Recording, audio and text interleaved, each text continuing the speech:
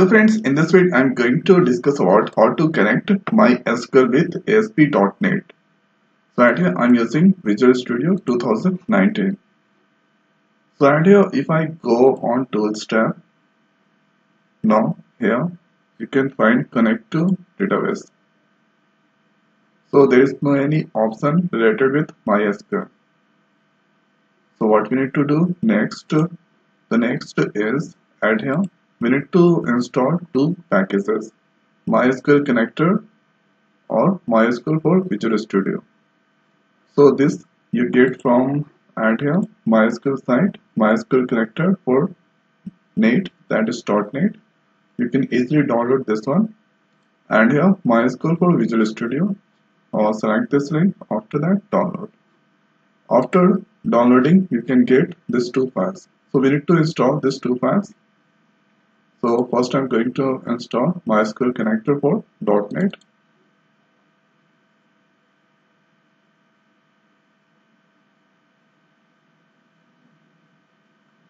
Now click next, complete, install. The installation part that has done for MySQL connector. Now here MySQL for Visual Studio, double click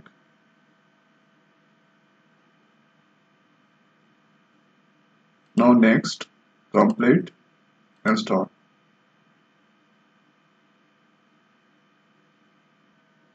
At here you can see MySQL for Visual Studio that is installed. Now click on finish.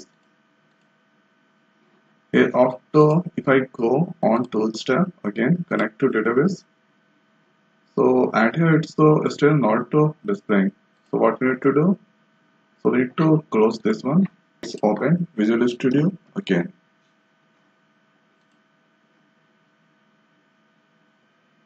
Now here after Tools tab connect to database and this time you can see MySQL database there. Click on continue. Here you need to give the server name that is localhost user that is uh, root and here give the password click on the test connection. Succeeded. Okay. And here select the database. Click on ok.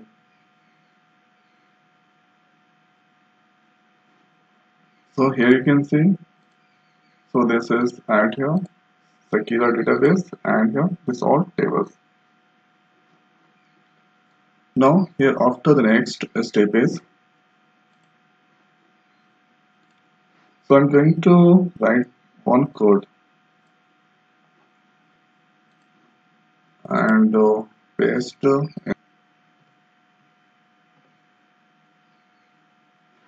and here I'm getting the message MySQL connection. The namespace or could not find. Go to reference.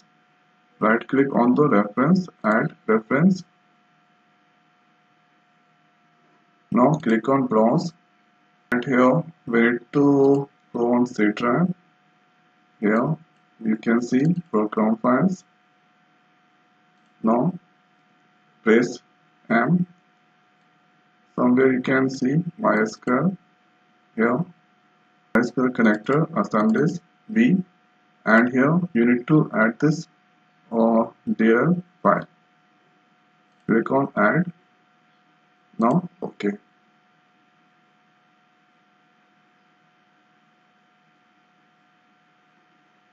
at here the file is added mysql now here it's write using my mysql if I press dot here dot if I press dot and here you can see MySQL client from there now they're all here that gone because I added at here important package MySQL data after that you can perform any kind of, of query so at your here this is a server localhost user root database Sakila and your password. And here I'm using tab 1 table and inserting some values. So if I execute this query sorry this code. And here this is the registration form. So let's add some value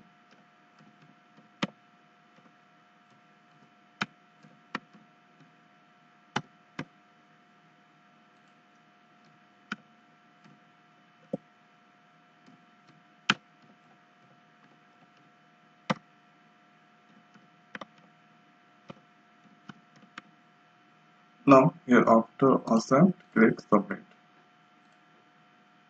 The value successfully added. Now you can see the same value inside Visual Studio 2019. So this is at your table.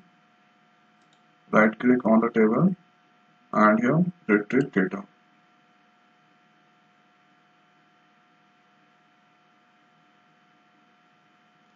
So here you can see this value that I just added, it's come inside MySQL table. So this is the way we can connect MySQL with ASP.NET. So I hope guys this video is helpful for you. So now in this video it's over. So thanks for watching. See you next video.